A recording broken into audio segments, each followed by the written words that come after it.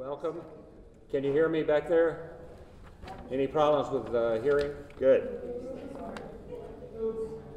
My name is Jim Stokely, and I'm with the Wilma Dykeman Legacy. Those of you who've been to previous sessions will have kind of heard the next minute.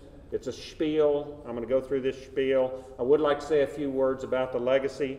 We're a tax exempt public charity located uh, in Weaverville, founded in 2012 to sustain and promote Wilma Dykeman's core values. There are three core values environmental integrity, social justice, and the power of the written and spoken word. And the Legacy sponsors lectures, programs, events such as this in the Asheville area.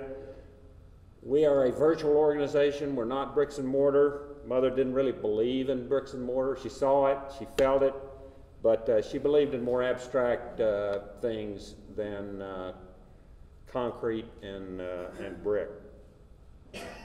We partner with organizations like Riverlink, the Osher Lifelong Learning Center at UNCA, and Buncombe County Public Libraries.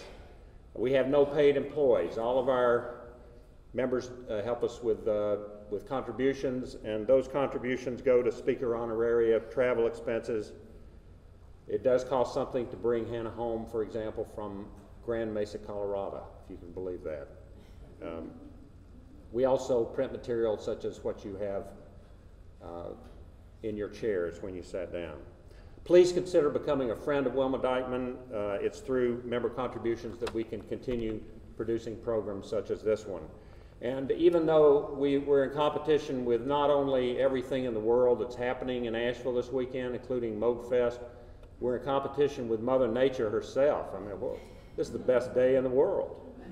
So it's a light turnout. However, we are videotaping this for the ages uh, with the help of Jim Rosario back there from AB Tech. Before you leave, please do two things. Please fill out the speaker evaluation form, and if you have not already done so, uh, put on your way out, put your email address on one of the sign-up pads for a free monthly word from Wilma. Now I'd like to say a few words about Leah Mathews, who was going to introduce our main speaker. And following uh, Hannah Holm's presentation, Leah is going to share her thoughts about how Colorado's water history and challenges might relate to Western North Carolina. She'll also lead a question and answer slash discussion session. Dr. Mathews is the interdisciplinary distinguished professor of the Mountain South at the University of North Carolina at Asheville. She received her BA in economics, French, and international affairs from Marquette University and her PhD in applied economics from the University of Minnesota. Dr. Mathews' research focuses on the valuation, listen to this, the valuation of those things that you can't buy on supermarket shelves, like water quality, scenic quality, and culture, cultural heritage. I mean, it's just wonderful that she's here in this area because that's what we've got, and it is valuable. We don't know how valuable. Her most recent research attempts to better understand why people value these intangibles and how the social, cultural, and natural forces that influence these values are related with a focus on local food and farmland. Current projects include an examination of how the relationships between buyers and sellers affect purchases at farmers markets and a study measuring the effectiveness of alternative local food messages. So please welcome Dr. Leah Greden Mathews.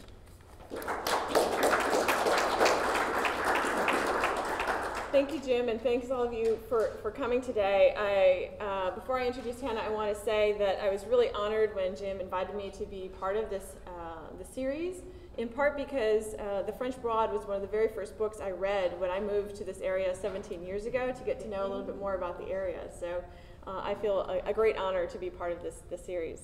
Um, I'm very, very pleased to introduce Hannah Holm, who is the coordinator and co-founder of the Water Center at Colorado Mesa University. In the late 1980s, she was a research assistant for the North Carolina General Assembly, where she helped staff committees on the environment, natural resources, sustainable agriculture, and smart growth. She has a joint master's degree in community and regional planning and Latin American studies from the University of Texas at Austin and a bachelor's degree in anthropology from Macalester College in St. Paul, Minnesota. Welcome, Hannah.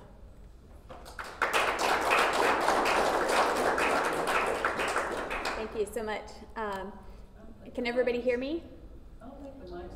Is this one not on? Okay. You know, I'm going to use this one so I don't have to. Oops. Right. Okay. How about how about this one? I think I think it is now. It, it'll take a minute, but I think it's it's coming. This one this one says it's on. Can you hear now? Well, it's not very loud. Okay. Not, not that loud. It doesn't sound like it's on. I think this one sounded. Hello? Hello? That that one's on. Okay, I'll turn this one. Hello? I'll just speak up and use this one. Okay. Okay, how's that?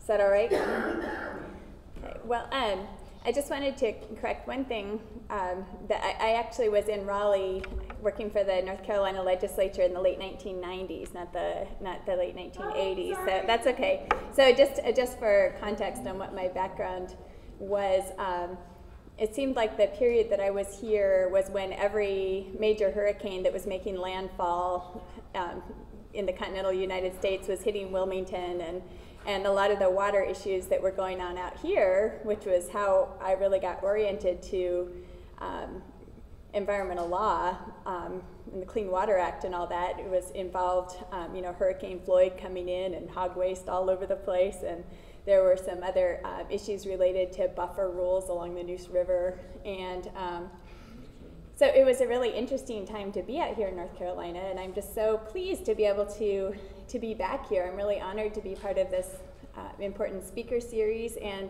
it is just springtime in Asheville, and it sounds like especially today, um, it's just a wonderful place to be. I spent most of my morning actually down along the French Broad River, enjoying your um, your very beautiful greenway down there, and it seemed like half the town was out there with me, and it was just wonderful to see. So um, that kind of, um, I, I just am always happy to see the community really appreciating the water resources in their area. And um, it was also interesting to learn that William, Wilma Dykeman's legacy involved both um, environmental protection and social justice issues because that really, those two issues are very entwined in what I'm going to talk, be talking about today, which is um, challenges related to allocating water resources um, where I come from in western, western Colorado. So um, I do hope that my description of the water challenges and how we're addressing them in my part of the world um, does help you think maybe in a few different ways, maybe um, provide some insi- insights onto you know how you can look at your own water challenges and deal with them. But and I'm really glad that Leah's here to provide those bridging remarks because um, because I don't really have the expertise in the local water issues to be able to do that for you. Uh, just a little bit of basic background on the Water Center at CMU. Um, Colorado Mesa University is a it's a regional state university, and our mission at the Water Center is to promote research, education, and dialogue on the water issues that are facing the upper Colorado River Basin. So that's basically the entire geographic area that drains into Lake Powell. Um, so at the core of it is really trying to promote understanding uh, among the public, among decision makers, among everyone involved of what is at stake when we do and don't make water decisions. So to get going, um, just to let you know kind of where, where I'm going with this presentation, um, the print's a little fine up there, but um, I'll start off with a description of where I'm coming from. The context is quite a bit different than here. We're a water-rich valley, but in a very dry region, and I'll explain what I mean by that. Um, I'll talk about some of the challenges that we face in Colorado going forward. Um, we have a forecasted gap between supplies and demands.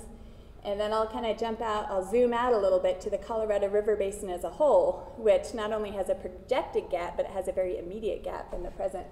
In the present. And then I'll, um, after I, you know, say a lot of scary things about, about where we're at, then um, I'll end on, on some of the some of the initiatives and agreements that I do think hold out some hope for our ability to solve some of the problems that can really seem intractable at times.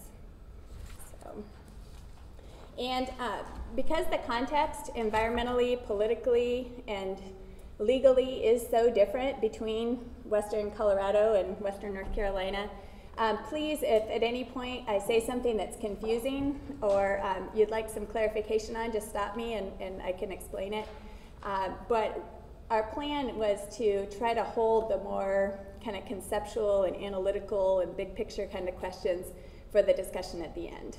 So, is that all right with everybody? Okay.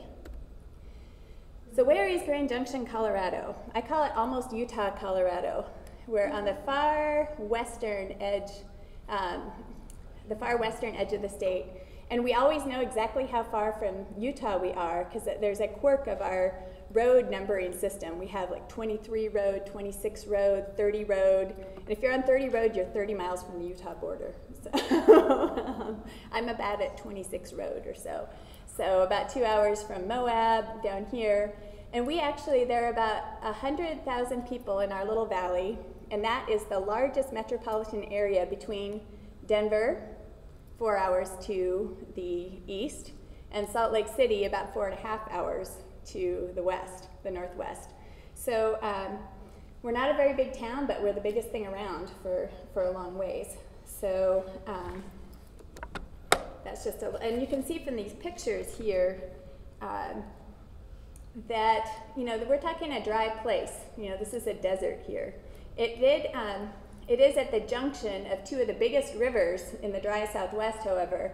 Uh, the Colorado River and the Gunnison River come together in Grand Junction. And the Colorado River used to be called the Grand River, which is why we're Grand Junction. But it's really, it was born as a farming community, and orchards are still, they're not as big a part of the economy as they used to be, but they're a huge part of our identity, and our peaches are so good. They're very, very, um, very, very good. But it's, so it has an agricultural history. That's the reason this place exists. Um, but it is also increasingly becoming a mountain biking destination. That's a little um, pump track that's at one of the mountain biking trailheads about 10 minutes from town. That's my daughter. and then um, this is the Colorado National Monument, which is uh, sort of like a scaled down version of some of the canyonlands country that you typically associate with Utah. And then this is the Colorado River, near the Colorado Utah line. So we have a history with resource extraction and um, agriculture, but those kind of amenities, um, those kind of intangible amenities on the recreation and tourism uh, economy is becoming more and more important to our area. And it's, it's changing the way that we relate to our, to our water resources. So just, um, I always like to fairly early on start talking about where we get our water. And it wasn't until I really started to be employed educating other people about water that I routinely started to think about where the water comes from that supports the communities I live in. um, so, our water in Grand Junction, um, we're actually really fortunate with our water resources. Our drinking water mostly comes from a, a 10,000 foot flat top mountain, that's the Grand Mesa up here. Um, so we get the fresh snow melt. We're the first users. We don't have to, you know, it hasn't gone through any toilets before it gets to us. So we've got good supplies of, of fresh snow melt that piles up on that mountain. This is, uh, they're just opposite sides of the same of the same mesa. This is the city of Grand Junction's watershed, and this is the uh, Ute Water watershed, and they're the biggest water provider in the county. They serve all the small towns and unincorporated areas. So that's where we get our drinking water from. But our irrigation water, um, which is much higher in volume than the drinking water, um, that comes pretty much straight out of the Colorado and the Gunnison rivers, which come down. That um, proved very inconvenient for drinking, especially with like early 20th century technologies. There's a saying about the Colorado that it's too thin to plow and too thick to drink. So um, it tends to be really muddy. and this is this here is one of our oldest irrigation diversions um, the Grand Valley Irrigation Company, this is their, their dam. So you see, we're not talking Hoover Dam. You don't have to raise the level real far to get it out into the ditches. And then this is a fish ladder, a fish passageway. But this was established, um, this, the founding, the appropriation date for this, and I'll talk about what that means in a minute. But um, basically, when they started diverting water out of this canal, that was the same date. That was in like 1882, I think, um, when the city of Grand Junction was founded. So our community was born hand in hand with the development of water out of these two rivers. Um, our community wouldn't be able to exist without it. And you can see, I like this picture here. It's, um, you know, this is up in, up on that 10,000 foot mountain. Our elevation in town's about 4,500 feet. So, um, and this green part here is the irrigated part of the valley. And then directly up, you know, up gradient from where the irrigation canals are, you can see what cover the, color the land is. It's brown. It's desert. We get about eight inches of rain in a year.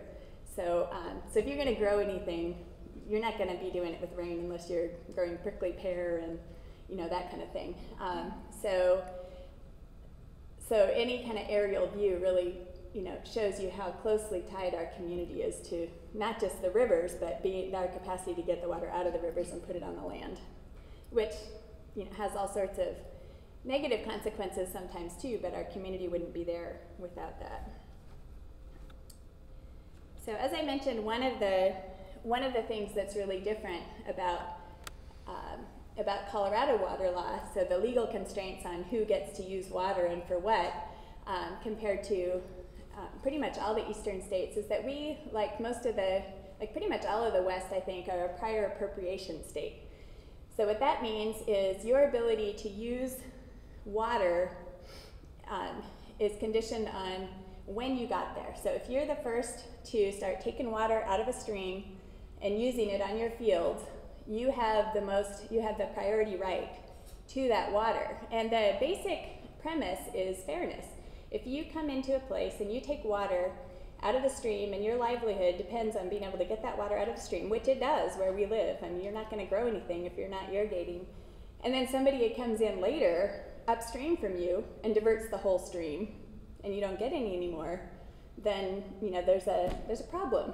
Um, so our legal system was set up to protect those senior rights, and um, the other thing, uh, and so it has your ability to take water out of a stream and use it, put it to beneficial use, has nothing to do with where your land is. Has nothing to do with whether you live along a stream or not. Um, you could live along the river and you know, somebody could live 10 miles away and they could have a prior call on your river, on the water to yours. And furthermore, you have to let them build a ditch across your property. So um, there, I saw a really interesting talk recently that um, that talked about the founding of this system and how it was really very egalitarian intent. Um, they wanted to um, really spread the water out to the people that could really use it and avoid having it um, kind of locked up in the hands of speculators who bought up all the land right along the rivers.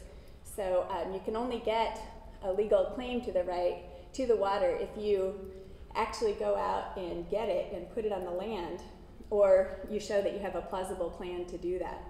And um, so because because of that first in time, first in right system, you know, when you got there and started using the water, and you know where you line up, and we have a whole system of water courts and water cops and everything to, to enforce this. It's a gigantic bureaucracy, um, but it lets everybody know where they stand pretty much. Um, so because of this system, where the senior calls are on the river has a lot to do with the flows in the river at any one time. So this is a picture of the Colorado River Basin in Colorado. This is the headwaters up in near Rocky Mountain National Park, and then um, you know the streams come in, and this is Glenwood Springs and a really dramatic canyon called Glenwood Canyon. And then downstream we get to Grand Junction, and then you're out at the Utah line over here. The Gunnison is the is the basin just below. And two of the major calling rights on the Colorado River in Colorado are a hydro plant that's about 100 years old um, called the Shoshone Hydro Plant, and then the Cameo Call, which is all the irrigation ditches that come off the Colorado River um, to serve the Grand Valley where I live.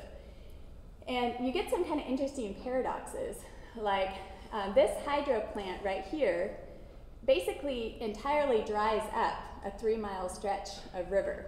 It dams it up, takes it through a tunnel, and then runs it through giant penstocks and dumps it back in the river. So it's a catastrophe for that three miles of river. But everybody who is concerned about the environment in the river as a whole sees that call as essential to the environmental health of the whole system because it pulls a lot of water. This is a substantial portion of the water that naturally is in the rivers, and, and then it doesn't use it up. So it, the water has to get there to meet that senior right. You know, other people upstream can't take can't take so much that that, that call isn't met. Um, and then it, it just runs it through the penstocks and it dumps down in the river. So because of that senior call, it limits how much water can get siphoned off up here and run across the divide to serve Denver and other cities. So even though in this little spot right here, it might not be so great for the environment, it's essential to keeping um, substantial flows in the river above it and then also downstream. And this um, cameo call also, which serves our irrigation rights in our valley, um, plays a similar role. It causes a lot of problems, which I'll also discuss, for the stretch of river between where they take the water out and where the return flows come back in, the water that, that goes through the, um, that drains off the fields that isn't taken up by the plants. But it is, again, it's an essential um, kind of legal construct that keeps water flowing down the river to that point. So that's just one of the, it's, it's hard to, it's very situational what's good and bad for the environment in, in the West. I guess, I think everywhere it is, but it's particularly the case um, where we are. So that's a little bit of the, of the Colorado context and um, one of our major legal constraints on, on who gets to who gets to have access to water. And um, then our other major constraint is the 1922 compact between all the states that share the Colorado River. So this is uh, this outlines the upper Colorado River basin, the hydrologic basin. So all the water that would naturally flow down to this point. and then this is this is the lower basin. And in um, around 1922 and leading up to that, um, you know, we had this prior appropriation system developing throughout the West, but um, California in particular was growing a lot faster than our states up here. And so people up here started to really worry that if prior appropriation was um, determined who got access to water across state lines, then we'd never have a chance to grow because all the water would be spoken for downstream before we even got off the ground. So, and around the same time, California wanted to build the Hoover Dam. And so they cut some deals in Congress to, um, you know, to get the money. Anyway, it was a, you know, they, they wanted the upper basin support for the construction of Hoover Dam. And in exchange, what the upper basin got was um, was this agreement that there would be a certain amount of water reserved for use in the upper basin. So they split the river instead of just, you know, waiting to see who, who developed first and, and got claims on it first. So one thing that's important, a couple things that are important to point out about this map is that the lion's share of the water in the river, um, even, you know, that's down here, and definitely that's in Lake Mead, the lion's share of that water comes from elevations above 9,000 feet in Colorado, in Colorado especially, but to some degree in Wyoming and Utah and a tiny bit in New Mexico as well. So the lion's share of the water originates here. The lion's share of both the population and the irrigated agriculture are down here. And of course, the use isn't only physically within the basin, it's a lot of the use is outside of the basin. So, um, so the um, you have down in Southern California, that's pretty much where all our winter vegetables come from. And then you also have metro, the metro area, you know, north and south of Denver is a major consumer. Salt Lake City gets some of the water from Utah's part of the basin. Um, Albuquerque and Santa Fe get some of the Colorado River water. So this river, I just want to go back a second to one of my pictures. So that, this river right here, this is near the Colorado-Utah line. Does this look like a river that can support 40 million people? I mean, compare it to the Neuse. This is a tiny river. I grew up in Washington State, and the river that, you know, nobody even, it didn't even rank in the state's rivers that flowed by my house is bigger than that in a lot of places. You know, you can walk across this many times of the year. And this is downstream from our irrigation diversions. So there are a lot of people relying, not just even in the basin, but outside the basin, relying on this puny little river. so that's why um, why you have these um, all these complex legal constraints because you know one user really can dry up a whole stream. You know one user can dry up the whole Colorado River for a big stretch. So all of these um, legalities around water and who gets access to it, you know, become very very important. So um, just to, this is essentially the problem for the whole region, is that our population's increasing, but there, there's obviously no new water. These graphics are particular to the state of Colorado, um, and it's not just the Colorado Basin, it's the, it's the whole state. Um, but this kind of shows our population is projected to double by 2050, and um, this just gives you an idea of the different demands on, on water and how we use it. About 85% plus or minus goes to irrigated agriculture, about 9% for cities. And then increasingly, environmental and recreational uses of the water have become recognized and valued by people. But they're really late to the game in terms of the legalities. So, again, with the prior appropriation system, when you start using the water and when you get that claim recognized in court, determines your priority in the system. So, sometime in the 70s, the legislature actually did recognize that that supporting a healthy environment was a beneficial use of water, and you could get a water right for that. But um, almost all of those environmental water rights are junior to pretty much everybody else on the stream. So there are a lot of years when those are not going to get met. Um, and then recreation, we have kind of a strange quirk in our law. To get a recreational water right, you basically have to put a rock in the river to make it more fun for boaters. It's called a recreational in channel diversion. So you have to do something to the river to make it more fun to boat on, and then you can get a water right attached to that um, beneficial use. Somehow we haven't figured out legally how to just protect flows that are fun all on their own without you adding anything to them. Um, but this, this split in how we use water between agriculture and um, and urban uses is is contentious because agriculture, just as just as geographically are um, where the water is and um, where the people are is is you know it's not the same. The majority of our use is in agriculture, but a pretty small portion of our population actually works in agriculture. And a relatively small part of our economy is in agriculture. I mean, it, it's an important contributor, but compared to other uses, it's small. So the folks in agriculture mostly have a lot of the senior rights, but they're really feeling anxiety about growing cities putting increasing demands on their water. Everybody with me so far? Making sense? All right.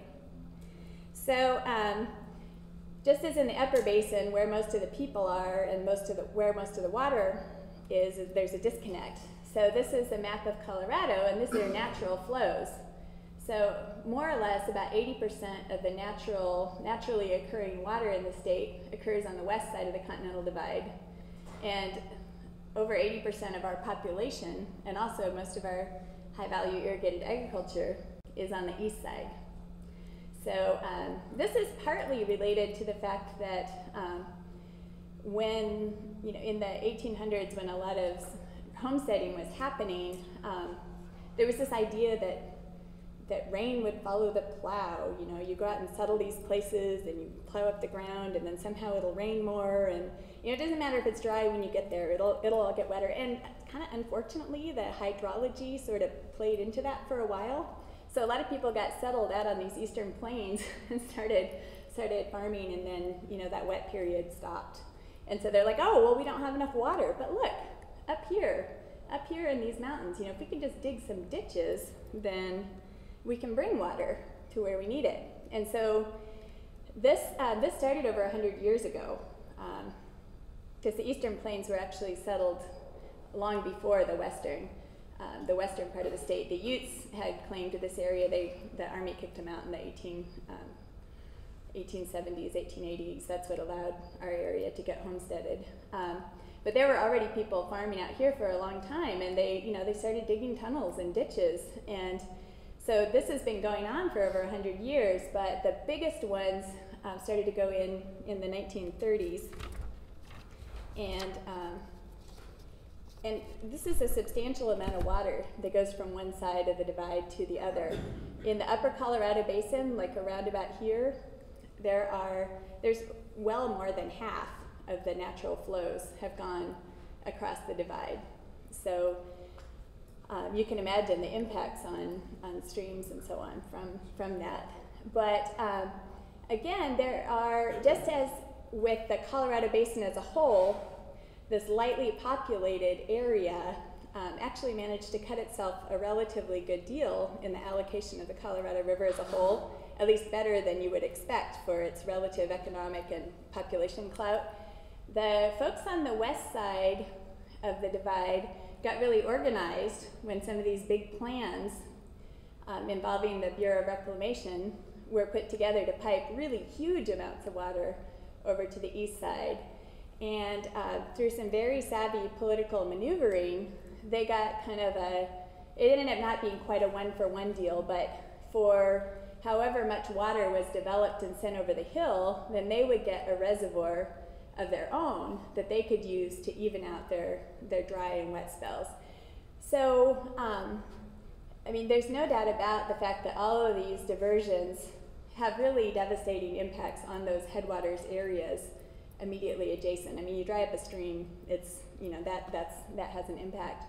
But um, for folks downstream, like the farmers in the Grand Valley, I mean, they didn't like that all that water was going over the hill. Um, especially because that's the best water, you know, the highest mountain snowmelt, that's the cleanest water. It's going to dilute all the other pollutants that come into it further downstream. But they got some big reservoirs, and because of the big reservoirs, they got in exchange for those trans mountain diversions. Really, like in our valley, water shortages don't exist for agriculture because we have our um, those big reservoirs upstream from us really uh, provide a lot of certainty that water will keep flowing late in the season, which it didn't always do before. So, um, so that's just another feature of our of our landscape, and it's a it's an indication that that the way these that the way these controversies turn out doesn't always directly mirror the economic and the and the uh, population clout of of the regions in question. It can that equation can be influenced by you know savvy political maneuvering and kind of um, you know trading tits tits back and forth. In this case, we happen to have some um, some very senior senior members in Congress on critical committees related to appropriations. So. Um, if these guys wanted the money to actually get their projects built, then they had to deal with, with the folks in my part of the world. So this is, as these controversies have been going on for, like I said, 100 years, and um, all the major institutions that came up, sprung up around the, this 1930s controversy related to the biggest diversions, um, celebrated their 75th anniversaries recently. And reading histories of it, same arguments back and forth that are going on right now, exactly the same. So it's deja vu all over again, but the difference is that now we're really getting to the point where um, you know, where our needs are in the foreseeable future going to outstrip the supplies that have been identified. So this is, again, this is the state of Colorado as a whole. And the, this line on top is the population projections. Again, we're projected to start to double by 2050 or so.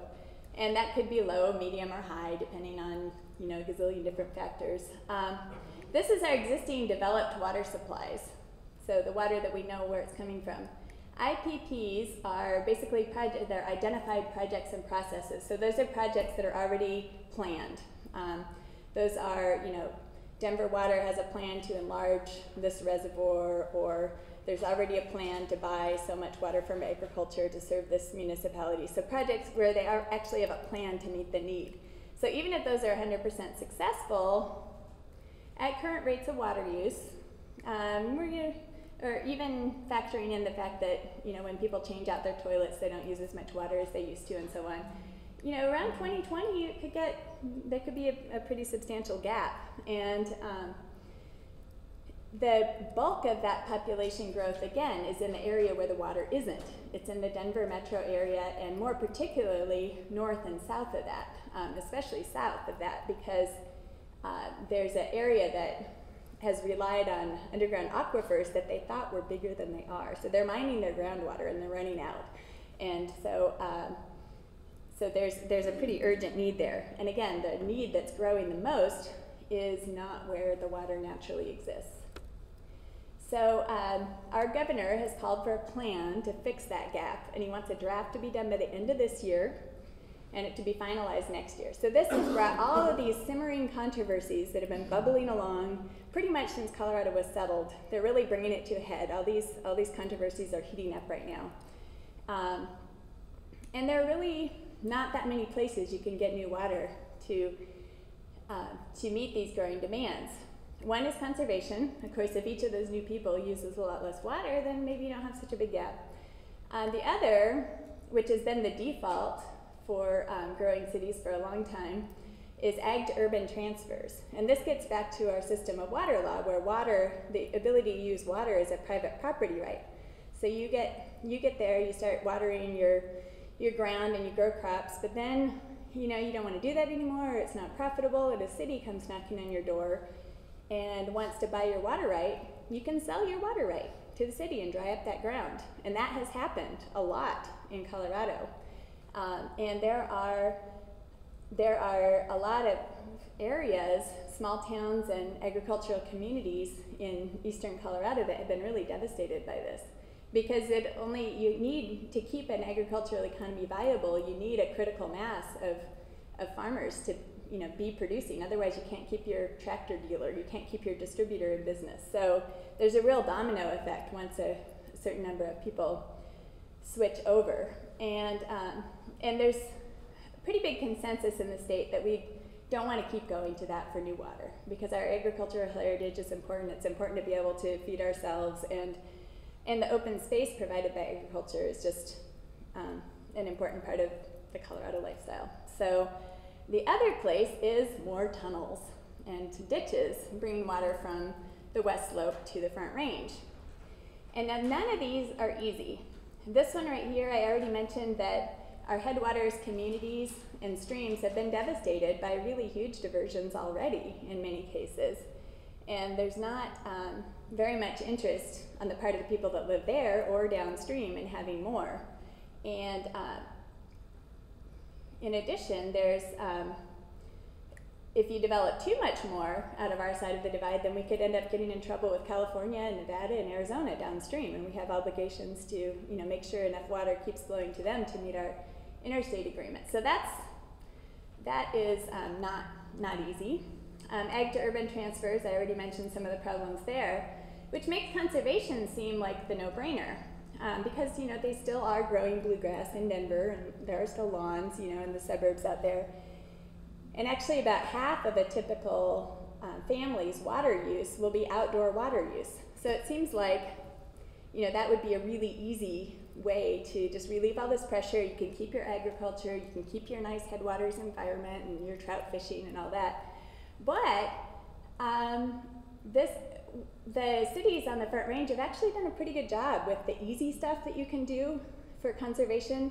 They've had great public relations campaigns. We had a big drought in 2012 and a, um, 2002 and another one last year and the year before that really got people thinking about water and they cut their use about 20% to really get enough to relieve the pressure on these two, we'd have to run into another one of our deeply held values, which is um, the fact that we don't like regulation very much. and we really, you know, local control is a very strong value in our state. And um, everybody on the West Slope really wants the Front Range cities to conserve like crazy and not grow a single blade of grass. But the kind of regulations that would be required to make them do that what if they apply to us too? We don't like that. so, so this is a much stickier nut than it seems at first. But some combination of these three sources is what it's going to take to you know get us to 2050. And then occasionally people bring up the question of well, what about 2051? You know, it's it's not like the it's not like the world is going to stop changing at that point. So we've got kind of a knotty problem in Colorado with how we're going to meet our future needs. But our needs in Colorado pale in comparison to the needs in the Colorado Basin as a whole. This is a graph from a recent, it was issued last year from the Bureau of, Bureau of Reclamation, a giant supply and demand study on the whole Colorado River Basin. And the red line shows water use starting about 1919. So it's been steadily climbing, kind of tapered off a little bit there. And this is our water supply. And you can see, let's see, you can see it was pretty high right about when they negotiated that compact between the upper and lower basin states. So they thought they had a lot more water to deal with than they turned out to actually have. But it's extremely variable, but the trend the trend is not so good. It's it's relatively steady to declining. And this is over 10 years ago now that these lines crossed, where demands on the Colorado River system as a whole have exceeded the amount of water flowing into the system. And then projecting out, these lines are very fuzzy because they take into account the climate change projections, in which there's a lot of uncertainty there. There's a little bit less uncertainty with demand. Um, and you can see that, you know, it's uncertain, but the median of all the different projections is not looking so good. I think that um, the projections are that, you know, maybe about 9% decline in, in runoff for the whole system. And since we're already crossed, then that's, that's not so good. um, and that's a 9% decline from the historical average. But actually, you know, the last 20 or 30 years, our hydrology has actually been worse than the climate change projections. So these climate change projections, if anything, could be on the conservative side. So this in a nutshell, is why you see all those news stories in the New York Times about the bathtub rings in those reservoirs. Because the only way that you can keep using more water than the system is producing is if you have these giant buckets. But you can only do that for so long. You know, that gives you security to weather um, relatively short term droughts, but both the climate change projections, and um, you don't even have to get into whether climate change is happening or not, although it does seem to be happening. Just going into the tree ring records, just the the observed historical record um, is only about you know 100, 150 years. But if you go back and look at ancient tree rings, um, you can see that our region has experienced both deeper and more severe droughts than we've seen in our very short period of habitating this area. So, uh, and we're really, you know, we're starting to hit the limits of our system's ability to handle that kind of drought. So, getting a handle on demand is really, you know, because we can't really, there's a limit to what we can do on um, the supply side of things. People are always talking about desalination in California and piping water from the Missouri River and things like that. But all of those different kinds of projects that would actually put more water into the system would be extremely expensive. And when you pump, water uphill for hundreds of miles, that takes a lot of energy, which in turn takes water, usually. Um, so most of those kind of, you know, people that study these things seriously seem to think that most of those big new supply projects are kind of pipe dreams at this point. So this is um, this is a real conundrum, and you have these dropping reservoir levels, and um, so some of the impacts that you have from these supply and demand imbalances is you know these reservoirs are dropping, so you know that you can you're only buying yourself so much time, um, and then also all the modifications that we've already done have have put the species that evolved in these river systems in their historical hydrology, it's put them under a lot of stress. Um, and then just everybody that has come to rely on the way we've been managing water for the last you know, 100 years or so um, becomes at risk. So, some very tangible uh, examples are that Lake Mead is the level has been dropping closer and closer to Las Vegas's intake for their water supply, and that's where they get 98% of their water. So they're drilling another tunnel, but still, that's that's a critical. You know, you can't really. The water is not useful to Las Vegas. That's two million people that could totally be out of water if the reservoir gets below a certain point. And then um, with Lake Powell upstream, um, that's what's referred to as the upper basin's kind of bank account for making sure we have enough water to deliver downstream. Those levels have been dropping a lot too, and there's concern that if we have a few more dry years, it'll get too low to generate power from um, from the um, now I'm blanking on the name of that dam, but um, huh? No, not Hoover Dam. It's Glen Canyon Dam. So if and if the water level in Lake Powell gets too low to generate power through Glen Canyon Dam, you have other cascading effects. Um, you have that actually provides power to a lot of the Southwest. So you'd have spiking um, power rates, and then also if um, if you can't sell that power anymore, there's a lot of money you're not taking in, and that money is funding a lot of our endangered fish recovery projects and salinity control and a whole lot of other projects that have become very important to people in the basin. And then also, if the power drops too low to deliver power, it's also too low for the upper basin to keep delivering the water that we're legally obligated to deliver downstream. And scariest of all is the fact that if the upper basin states don't figure out a way to keep those levels high enough, then the feds will step in and do something. And that's a very, very scary thing in my part of the world. everyone is, everyone really wants to, as much as possible, um, keep the power in the state's hands. The states traditionally administer water, and it's through these interstate compacts that they figured out how to divvy it up. And there's this huge, scary question mark of, oh my gosh, if the Department of Interior steps in and does something, what are they going to do, and who's it going to harm? So, um, so there's a lot of anxiety, and this could, there's something like a 20% chance that this could happen within the next five years if we have, um, you know, if the hydrology we've had for the last five to 10 continues. So probably not, but it's a too big of a risk to ignore. And we have a really good snowpack this year, so that's giving them a little bit more time. But you know, sooner or later, we're going to come back to that issue. Because like in 2011, Lake Powell went up by about 50 feet. We had a huge snowpack. And then by this time last year, it was all gone, and the levels were lower than before. So this year, it's supposed to go up another 40 feet. But you know, that maybe buys us a year, maybe two. So, um, so we'll see how it goes. So kind of dire situation overall. Business as usual obviously can't continue. Um, but there actually are, amazingly, oh, and I forgot the biggest impact of all that dry Colorado River Delta. It's been over 30 years since water flowed through that delta to Mexico. I mean, well, it's been flowing to Mexico, but it hasn't been making it to the sea. Because um, in the treaty between the US and Mexico, um, Mexico gets 1.5 million acre feet a year. I talk about acre feet a lot. That's about the amount that, of water that it would take to fill a football field, about a foot high. So um, usually considered to be enough for about two to three households for a whole year. So Mexico's allocated one and a half million acre feet, which we've never failed to provide, but they have their own irrigation systems there. So it hasn't actually, and there's no allocation for the river. So you've had a dry Colorado Delta for a long, a long, long time. So lots of impacts from this supply and demand imbalance. But there are some signs of hope. Um, first of all, before I talk about these solutions, does anybody have any questions so far? Okay.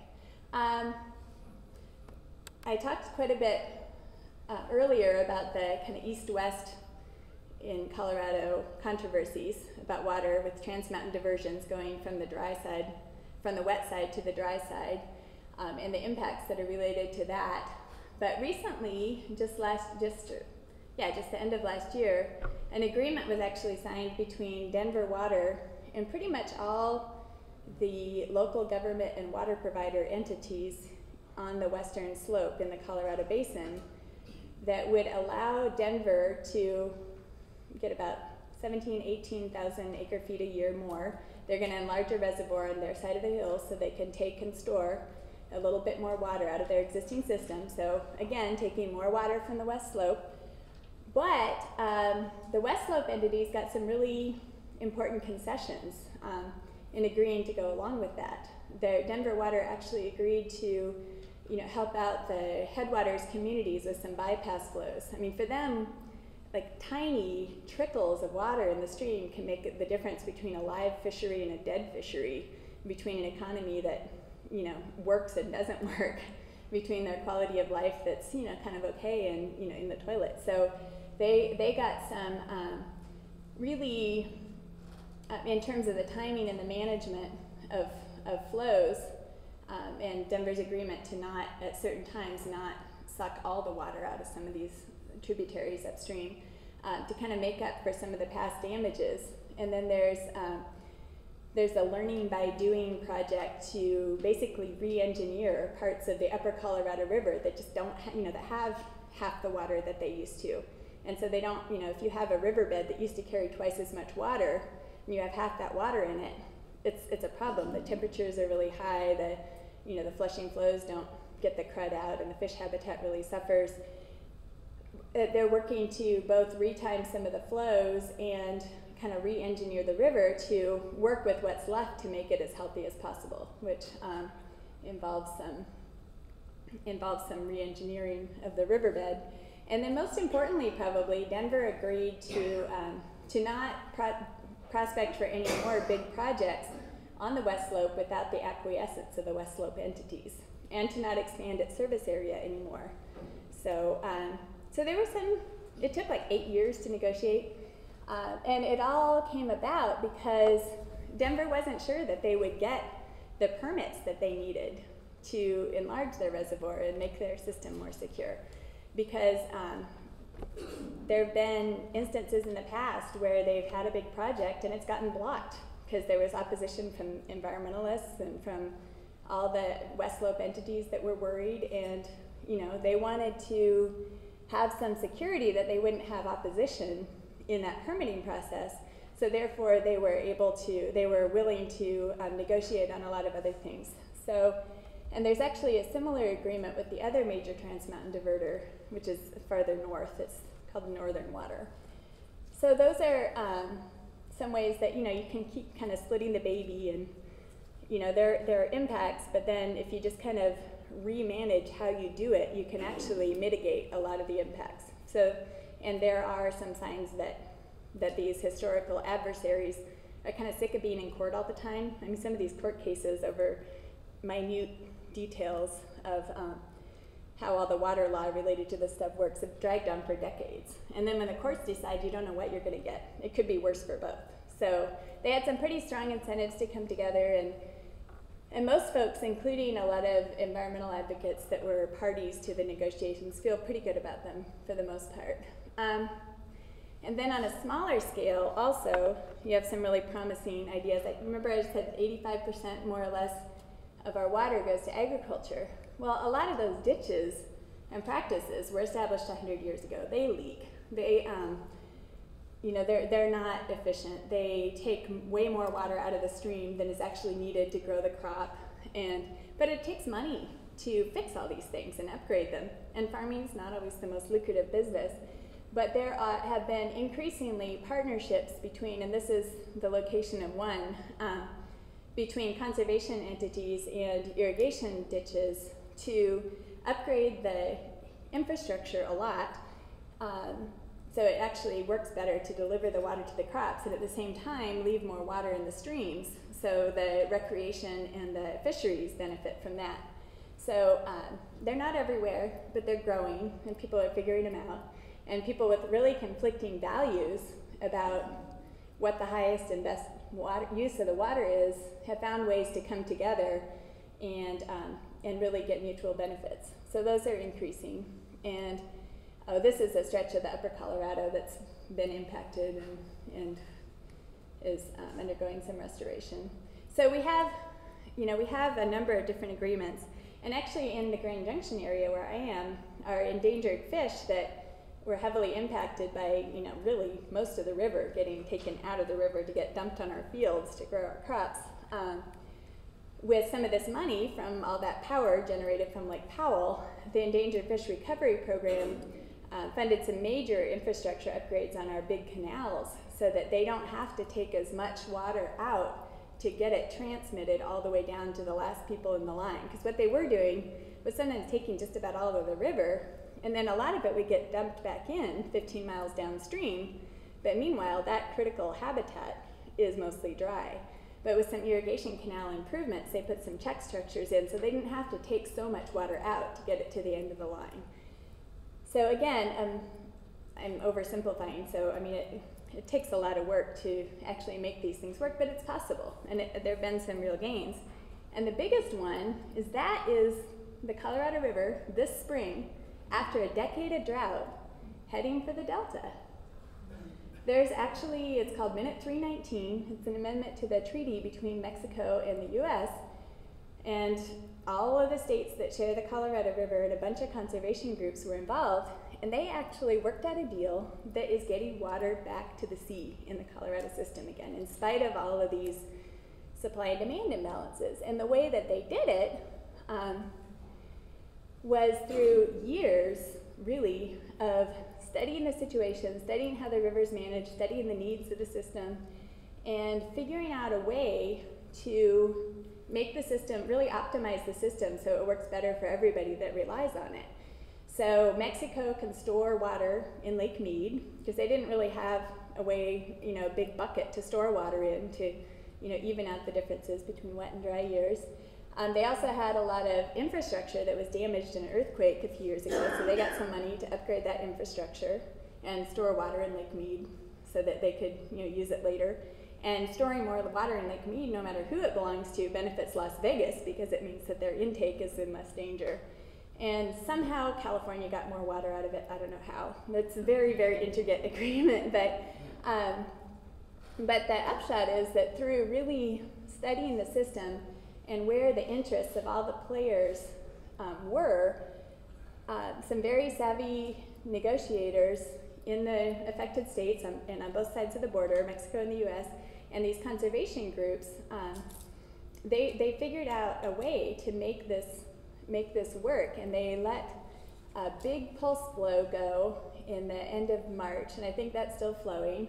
So that kind of simulates on a smaller scale the kind of flooding that used to happen. And then the conservation groups have committed to lease water from Mexican irrigators to keep a base flow going after that. And this agreement only um, will last for about five years, but it's a it's a really important experiment. And even you know right now our snowpack this year is looking pretty good, but you know it's it's it's a it's been a long intense drought, and there's some serious worries about supply. But because this agreement makes the system work better for everyone. Even the traditional water users had enough of a stake in making it work that nobody pulled the plug on it, and it's actually happening. So those are some kids playing in the water. Nobody under 30 had ever seen water here before. Um, so I, I mean, if that can happen, just looking at the overall supply demand picture and how the politics lined up, I never would have predicted that this was possible. So, but if this is possible, I think a lot's possible. so um, it doesn't always happen. It's not a gimme, but with enough determination and um, and really, you know, doing that hard work to understand the interests of everybody else that has a stake in the resource, uh, it's it's possible to do some pretty amazing things. So that's that's all I have.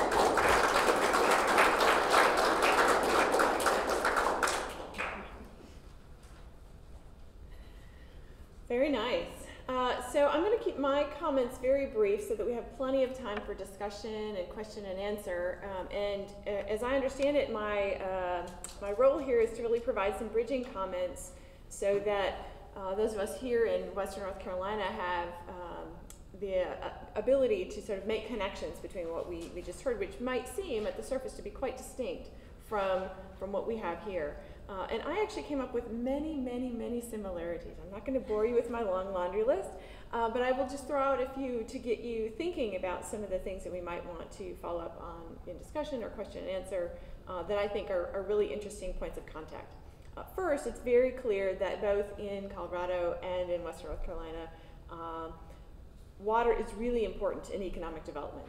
Uh, and maybe for different uh, legal reasons, and, and we have different histories and cultures, but at its core, uh, water is essential to uh, ensuring population growth, um, you know, residential development, agricultural development, and uh, other economic development. And some of the more recent um, sort of big name or big he- headline making um, economic developments in our part of this uh, state have to do with, uh, very much have to do with water, uh, breweries. You, know, you think about what, what has drawn uh, breweries from the western part of the country to the east. There are lots of different factors, but um, one of the things that um, they are interested in is our clean, abundant, uh, great water, right? So if you think about whether or not your area or another area that is dependent on this intricate water system, um, they wouldn't have the same kinds of opportunities that we have here. Uh, but the, the theme is similar in terms of that, that importance of, of water for economic development. Uh, and, and Hannah mentioned in a couple of places uh, the role of uh, intangible values, which of course is sort of near and dear to my heart. Uh, but it seems to me that those intangible values, um, even just looking at this last slide, so the value of experiencing water in this place for the first time, there's something important about that that often doesn't get acknowledged. And uh, I think Hannah said um, how we relate to water is changing because of this changing recognition. And I think in this place, uh, we've been blessed with an amazing set of natural resources, including an, an amazing set of water resources. But we are um, perhaps uh, more generally uh, becoming aware of the value of those resources, especially water, not just for economic development, but for our pleasure, for recreation, for ecosystem services. Um, and in this part of the state, of course, um, tying into that, recreation is quite important, which is something that, that Hannah mentioned is, is growing in importance in, in her part of the world. Uh, a lot of our economic activity here, especially uh, in terms of uh, tourism economy, is water dependent. You think about uh, fishing and rafting and kayaking. It's also a very important contributor to our quality of life here. Uh, we know several uh, people, I'm sure, all of us, that um, locate here because it is such a lovely place to be. Uh, there are all sorts of people that come to, to move to this place just because of the kayaking opportunities, right? So having that water resource um, is really important for all sorts of, of reasons. I was also interested in uh, hearing that the role of politics uh, is uh, also quite important in Colorado. Um, this is probably not a surprise to anyone who's, who's followed uh, water issues either in the eastern US or the western US, but uh, how we uh, allocate that water is often a function of these institutions, these institutional arrangements that, that come about. And some of that is, is uh, of course, driven by um, politics, and, and that can change over time. So uh, the allocation that exists currently may, in fact, change as the winds of change uh, occur uh, politically. And then finally, so we can get started here on the Q&A, um, I was not surprised, but um, happy to be reminded that uh, culturally we have also some uh, similarities with many people that live in Colorado, and that is that uh, we really value local control and we don't tend to like regulation, especially federal regulation. So if we can solve our own problems in our own backyard, we tend to think that that is preferable, and that seems to be um, an important uh, piece of the story, uh, both in Colorado and here in Western North Carolina. So I will stop there, just give you a little food for thought, a little taste uh, of some of the similarities, and then open it up for questions uh, and discussion. Yes?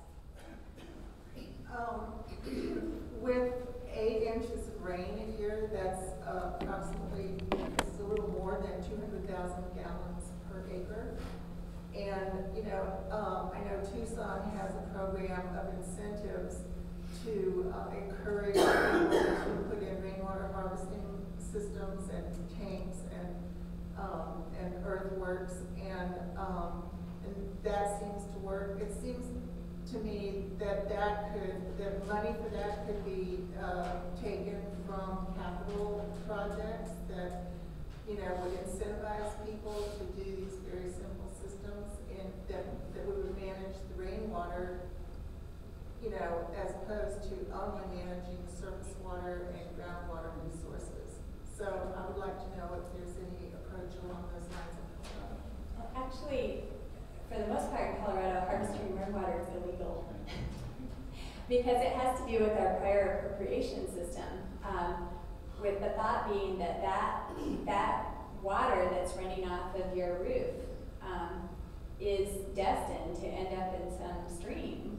And it's, and somebody is, you know, downstream I'm might have a claim on it. I'm referring more to earthworks that put it down into the ground so that it travels to the, to the streams and creeks more slowly and, Mhm. and still goes through the entire water system.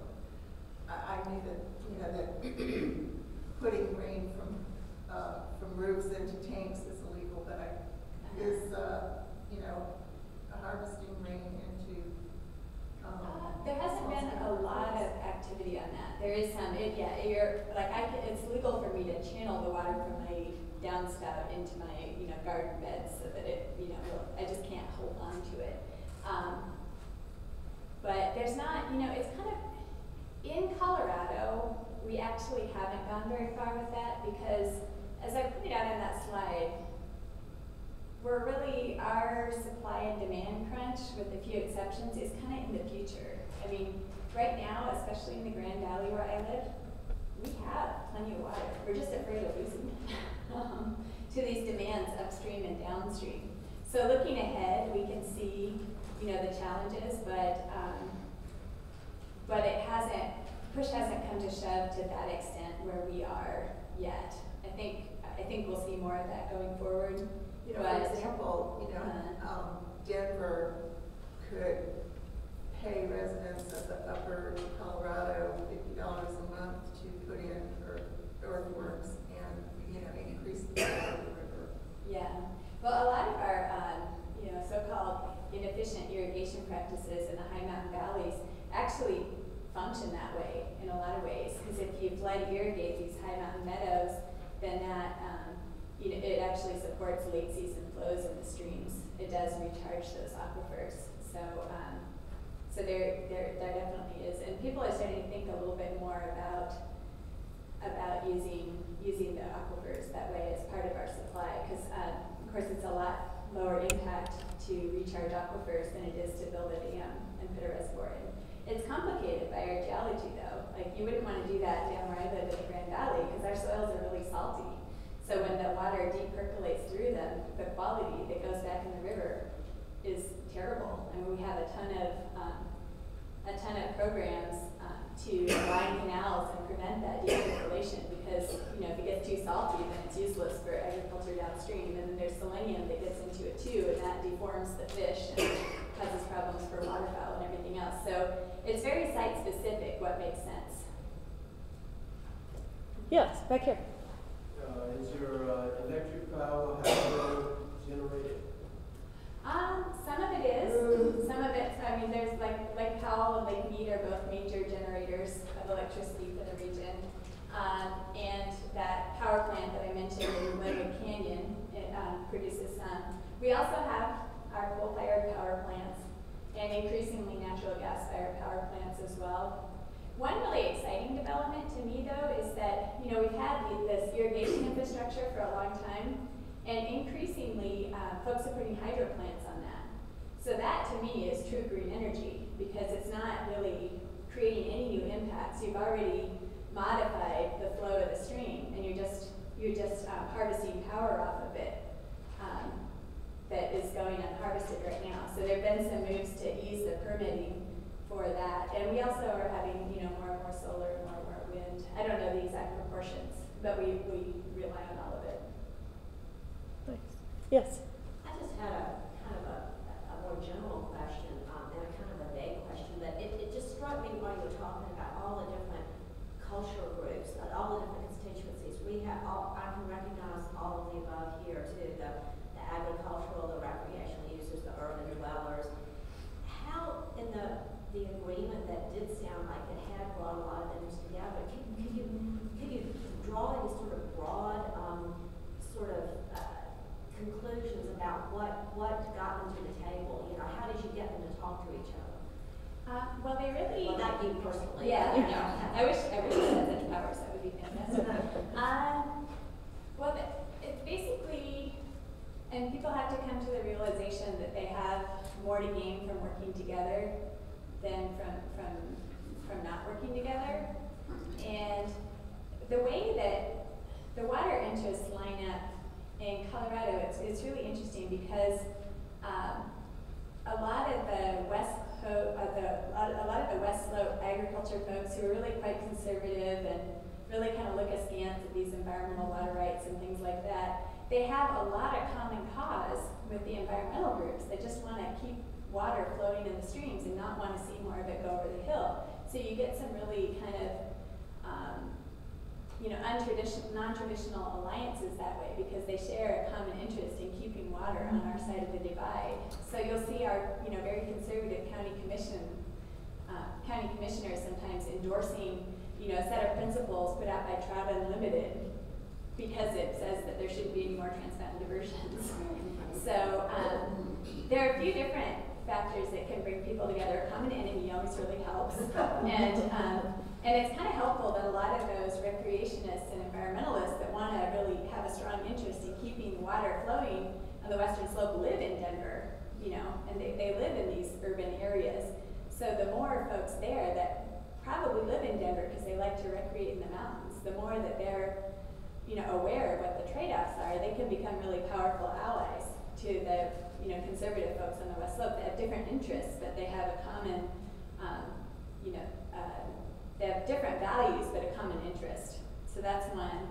And then, um, and then this, this threat of federal action or court action is another powerful incentive for people to come together. Like, um, with the endangered fish recovery program.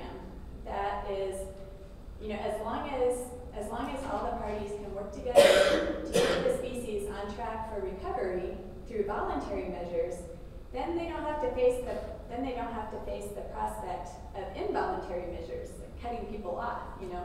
So that if there's a threat of some kind of uh, of some kind of restriction that somebody else might set that you don't know what it is, it provides a really strong incentive for people to come to the table and figure out a way to sort out their own problems. Yeah. Are there other questions? I have One, you showed a graph between the population and the demand, and I noticed on the graph about nineteen eighty-eight or eighty-nine, there was a significant spike, and then fast fall off there. Is that a climate? What, what was the cause of the spike, or do you? That, um, in, in the supplies of the, uh, well, our, if you look at historically at Colorado River flows, they're extremely variable. I mean, they're, it's, you know, the graphs just go up and down. So as far as the, About nineteen eighty-nine?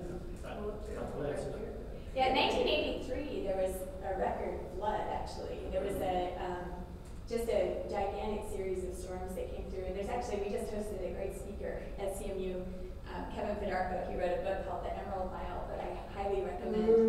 But it talks about, um, it talks about that 1983 flood. And the Bureau and the forecasters kind of underestimated how much water would be coming into Lake Powell. And um, so they weren't really prepared. They didn't let enough water out ahead of time. So they were trying to keep the dam together as all this water was coming down. And meanwhile, they're releasing way more water into the Grand Canyon than had been there for decades. And it's causing havoc with all the rafters there. So this book braids together the stories of the rafters that were stuck in the canyon, the engineers trying to hold the dam together, and then these crazy guys that decided, wow, we can do a speed run through the Grand Canyon in these conditions. so they made it through in 36 hours. But yeah, that was, I mean, that was a wet period. And it's been really since, um, you know, since the turn of the decade that we've, we've had much drier conditions. And it's, um, I mean, it is the climate change, that's consistent with climate change models, but it's also consistent with just the historical variability of, um, of flows in the Colorado. I mean, the, you know, Mesa Verde was abandoned in a, you know, in a period of drought. So um, the likelihood of droughts like that is probably increased with climate change. But even without climate change, trouble. um, I, I, just was also struck when you were talking about how uh, in Colorado that, I mean, water is like property rights, you know, that, that you, you can, and I mean, uh, how does that compare, generally speaking, with other parts of the country? You know, is that unusual? Is that more typical or is that unusual? It's Western. Okay. I mean, it's, um, exactly the, the, exact way that it's administered varies a lot between states, but prior appropriation, like you know, west of the 100th Meridian, pretty much the way it goes. It's, it's, it's, you know, once the resource gets scarce enough that, um, Um, yeah. Cause when you get people buying and selling their, the water on their, I that's, that. I mean, you have to go to court and prove no injury to other water rights holders, so it can be very contentious. And in Colorado, you have to go to court, it's dealt with administratively in other states, but, yeah. I'm just curious, I mean, what the population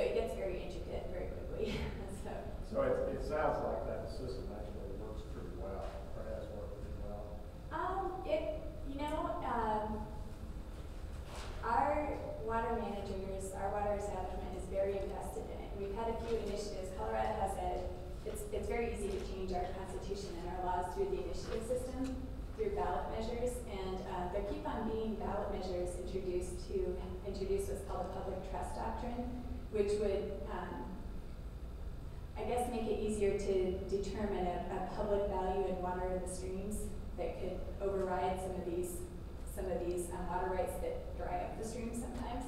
And that really freaks out our water establishment. Um, and I, I, think a lot of the measures have been pretty poorly written where I can't figure out who it would be that would make these decisions about what's in the public interest. So that's, that introduces a lot of chaos.